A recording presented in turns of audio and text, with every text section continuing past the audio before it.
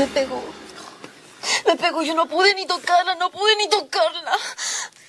Mira, mira, yo no sé cómo te contuviste, Ana. Mira, si yo hubiera sido, yo le hubiera pegado. ¿No estás viendo que la bruja esa está embarazada?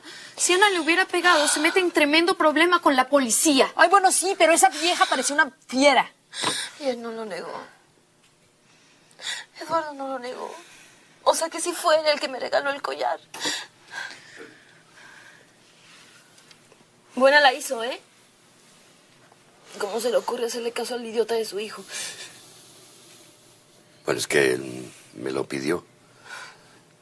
Me dijo que si él te lo daba, tú no lo ibas a aceptar. Por supuesto que no se lo iba a aceptar. Yo no soy nadie, pero absolutamente nadie en la vida de Eduardo como para que me regale ese tipo de cosas. ¿Cómo se le ocurre? Es verdad, yo también soy un idiota.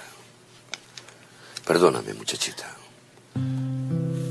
Todo esto es por culpa mía, por ser un alcahueta.